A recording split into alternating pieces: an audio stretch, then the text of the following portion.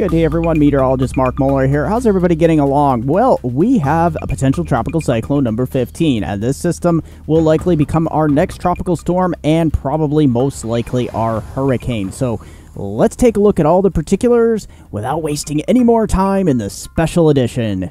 All right, infrared satellite showing a blossoming system here. Now, take a look. Yeah, the center is over here, so most of the shower and thunderstorm activity is on the east side. It's interesting we have a feature over here over towards Puerto Rico as well. That is heading off towards the northeast, not going to amount to much. So here is Jamaica, looking for potential uh, tropical storm and some outer feeder bands feeding into this, heavy rains, and the Cayman Islands up here as well. So those are the two areas we're going to be watching here in the short term.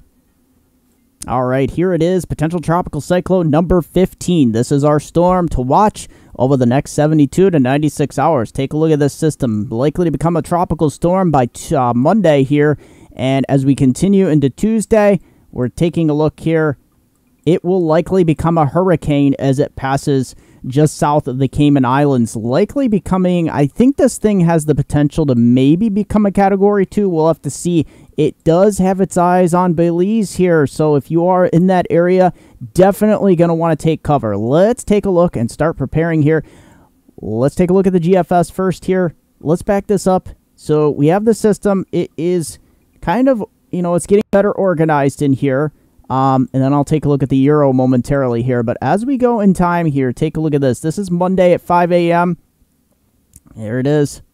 2 p.m. Monday afternoon. It is literally going to be passing just south of Jamaica. So here we go. We have Jamaica is going to be having some effects with this.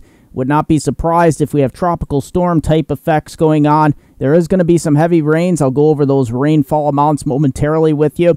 And look at that. By about Tuesday at 2 a.m., a lot of it by this point is to the south and west of Jamaica. Here's Jamaica here. So a lot of these feeder bands by this time will be elongated out in this direction.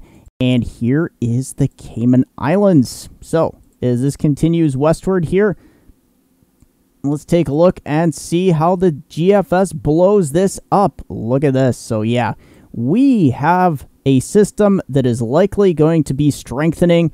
And you can see the GFS giving this a pretty solid eye by this point. So I think the GFS is indicating that this is going to become stronger than a Category 1 hurricane. It does take it a little bit north of the forecast guidance track uh, just north of Belize City here. You can see this is by Wednesday at 11 p.m. So this system is really booking it towards the west here. And look at it. It becomes a big heavy rain producer inland here. So look at that. And it kind of washes out. Will it make it into the bay over here? Bay of Campeche? We'll have to see. It might try to redevelop into something here or maintain some of its tropical characteristics.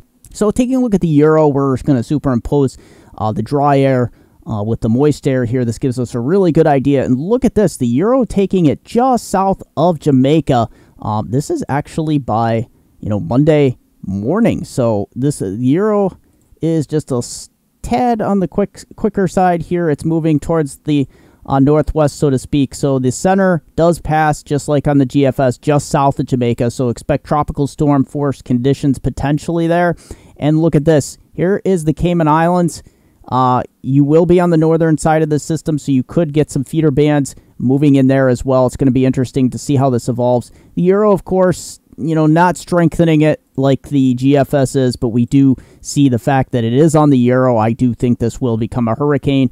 And the Euro veers it a little bit more towards the southwest here into Belize. So the GFS is just a tad north of Belize City, whereas the Euro is just a tad south of Belize City. We'll have to see how that uh, how that factors in here. Uh, there's that, uh, you can see all this dry air, so to speak, across the northern Gulf. I think that's pretty much going to stay away from this system, so this system doesn't have too much to worry about uh, as far as dry air. And then it heads inland, and it maybe on the Euro here becomes a tropical system into the eastern Pacific.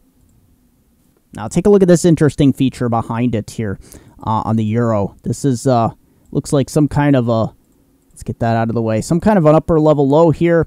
Um, you can see moisture spinning around it here, so we'll have to watch this as well. This is this is kind of interesting that this is popping up, but look at the dry air entraining in behind it. So just as this system passes all of this hostile conditions moving behind it. So the Caribbean pretty much being shut off of anything major tropical in nature there. Now, take a look at the GFS here on the humidity layer. Take a look at this. So as we go in time here, there it is passing just south of Jamaica. You see dry air is not going to be a concern for the system, and GFS takes it much stronger into Belize there, just a tad bit further north. Uh, but there you have it. Um, there's the same feature I showed you on the Euro as well. We'll have to watch that. That's interesting. There's quite a bit of tropical moisture on the east side, but there is that hostile dry air filtering in right behind it. Let's see what the position of the high pressure system is. So, yeah, essentially you do have a area of high pressure up here and that's going to be interesting because that is going to continue to steer this system more towards the west. All right, so let's take a look at rainfall totals. These are in millimeters here, as most of the other nations of the world do measure in millimeters. So let's take a look. This should be convenient for parts of the Caribbean here. So let's take a look. You can see, wow. So this is the Euro model taking a lot of rain, especially the southern shores here of Jamaica. You can see uh, this is upwards of 60 to as much as 100 millimeters of rain in some of these areas. So, and look at this towards Belize. This is where you're going to be upwards of 100, 150, 200 millimeters of rainfall here. Now, the Cayman Islands, you're going to be far enough north that you're going to escape most of the really heavy rain, 30 to as much as 45 millimeters of rain. So to put that in perspective, you'll probably be seeing, you know, two, three, maybe upwards of four inches of rain the southern shores of Jamaica here. Uh, probably about a, a, most areas will be around an inch here in the Cayman Islands, maybe locally higher. And this is where we're going to see 6, 8, 10, 12 inches potentially of rainfall. Taking a look at the Western Pacific here, we had Tropical Storm Nalgae move through uh, the Philippines here. Thankfully, it didn't become a major typhoon. It will briefly become a typhoon, uh, most likely on Tuesday as it nears the South China coastline here. But thankfully, by the time it reaches um, Hainan Island here, it's likely to become weaker into a tropical depression as it bends westward around an area of high pressure. So this is great news. We got another system out here that we got to watch for the Philippines. Tropical Depression 27. Yep, we're up to 27 now. This likely to not become much of anything. Let's actually play this into motion here and see how this evolves. You can see that's, uh, yeah, it's not battling, or it's battling very uh, hostile uh, conditions there. Uh, the seas are also stirred up from the previous storms. You can see our potential typhoon up here, Nalgae, uh, moving towards the northwest, and it will become a big rain producer uh, for South China here. So as we go towards Wednesday at 11 a.m., you can see here becoming quite a big rainfall producer around the southern part of China. Look at this. The Philippines are clearing out and looking nice. So yeah, we do have this system. What's left of Tropical Depression 27, we'll have to watch. It might try to develop into something here. This is Thursday on November 3rd here. You can see this system bending off towards the northwest here and at this point just becoming much of a heavy rain producer. And then look at this. This is Friday, November 4th. We have some heavy rain moving into the Philippines with that uh, what's left of Tropical Depression 27, but it doesn't look like much by then. Uh, we do have a system up here uh, towards Taiwan by this time. We'll see if that develops into anything. That looks like more of westerlies more than anything um, or some subtropical type of system. But for the most part, you don't really see too much. There's quite a bit of clearing on this side of the ocean. All right, so let's take a look here. Our future radar.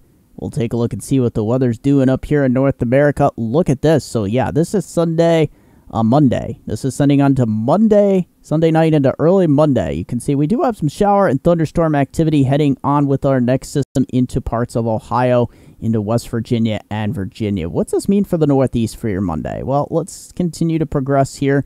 And it looks like we will have some scattered showers trying to work their way into the picture. If you're in the Lake Erie, Lake Ontario region, it looks like by 1 p.m., your lunch hour, you will be getting in on some showers and some embedded thunder showers knocking on your door. But most of these will be on the light side. And as we continue throughout the day, we will have some increasing clouds, maybe a few showers working into the I 81 corridor here. But for, you know what? For the most part, it will remain dry. And look at this. We got some shower and thunderstorm activity in southwestern Pennsylvania. Uh, this will be heading northeast, but temperatures are really going to be warm.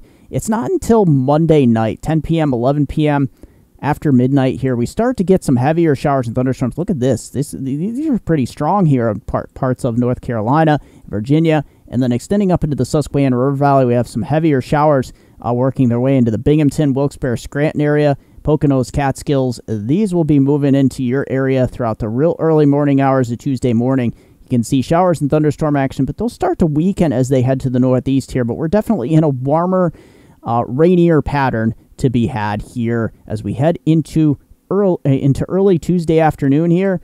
Look at this. We do have some heavier showers and thunderstorms here moving into western parts of New Jersey, so watch out for some of these big gully washers. And some viewer sent photos here. Jim from Groton to Fishers Island, sunrise to sunset. Take a look at this. This is beautiful. Nice. Wow, nice captures here. Look at that, the water, and there is the sun. Some beautiful colors in the sky. Look at that, the sun's higher there. Look at those waves coming in and all those beautiful rocks. Nice captures here, Jim. Take a look at this as we continue throughout the day. Look at this. Looking really beautiful. Look, water's a little riled up there, but look at that. That looks beautiful. Look at those oranges, and you can see, look at there, some fall foliage here as well. Nice captures there, Jim. And take a look at this also from this past Thursday. John uh, Huddersfield University over in the UK. Take a look at this beautiful fall foliage. Nice capture. Look at those reds and oranges there in the background. Beautiful captures there, John. And take a look at that. That one as well. You can see. Look at those reds and oranges off in the distance there. Nice captures, John. So, taking a look at temperatures, look at this for Monday. This does not look like we're going into October 31st here. 60s across most of the region, even some 70s down here. This is crazy in Virginia's and parts of southern Ohio. As we head into Tuesday, how long is this going to hang around? It looks like we're pretty much in the thick of it here across much of the Northeast. We're staying pretty mild here into your Wednesday as well. Not looking too bad. Look at this, plenty of 60s, upper 60s, and most areas 69 degrees in the big cities of the Northeast. Susquehanna River Valley, you can't complain. You're in the mid 60s into Thursday as well we don't see any major pattern changes, at least through this part of this week. Take a look at that. Definitely staying like a mild week into next weekend. This is crazy to even think. Most areas are going to be into the upper 60s here. Extended outlook from hometown viewers, Upper Susquehanna River Valley from Binghamton to the Scranton, Wilkes-Barre area. Take a look at this. This is crazy to even think that by the end of the week we'll be approaching the lower 70s. Look at this. We have a chance of showers maybe later Monday into you know Tuesday here. But you know what? For the most part, look look at this. This is crazy to even think about that we'll be seeing highs in the mid to upper 60s every day. This is crazy weather that we're having. So get out there and enjoy. If you have a little bit of fall foliage left to enjoy, go enjoy it. As always, I want to thank you for joining me for this edition of Weather Eastern and Hurricane Eastern. Don't forget to like me on Facebook at MeteoMark, also Weather Northeastern, also Hurricane Northeastern. You can like me on Twitter at Weather Eastern, MeteoMark.com, WeatherNortheastern.com. Don't forget my localized page is Susquehanna Weather on Facebook. Don't forget, question or comment down below, smash that like button, share, subscribe, hit that notification button.